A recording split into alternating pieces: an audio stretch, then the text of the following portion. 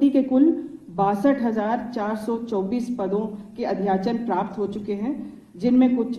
उप निरीक्षक नागरिक पुलिस के चौबीस सौ उनहत्तर पद हैं